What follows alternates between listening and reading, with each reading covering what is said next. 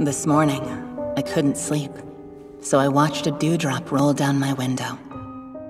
When the morning sun finally rose, it sparkled like a dream. It was just so beautiful, so of course I had to touch it.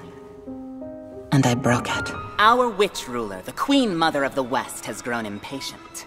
She has begun a race against time. She claims that there is no one qualified in this land. My new comrade Elias, acknowledge and accept the order from our Queen Mother of the West, and put an end to your curse obsession! Good. You're the one I came for anyway.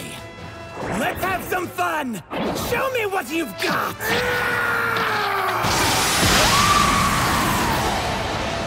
Here, Shima, this is for you. Hmm? For the badge test. You probably have one for singles already. But you don't have one for skate leading, right? You have to have it to compete, so I might have applied for you. All you need to do is show up. And pass, of course. Randy was perfect, but someone ruined her. I know it was you. Your death won't be nearly as quick as my Randy's. I'll take my time. There is no more time for negotiations. We must depart immediately. We will be taking the blood of this male by acquiring an Earthling's He's certainly lightened up. Hold on, do the two of you know each other? I wouldn't say that, but as far as demons go, he has quite the reputation.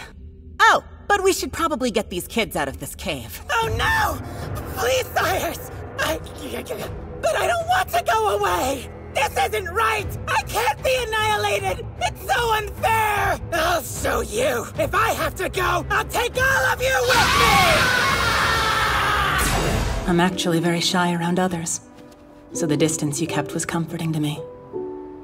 When you began to visit me regularly, it was something different and fun that I was able to look forward to. I was excited to see you again. And for that, Theo, I can't thank you enough.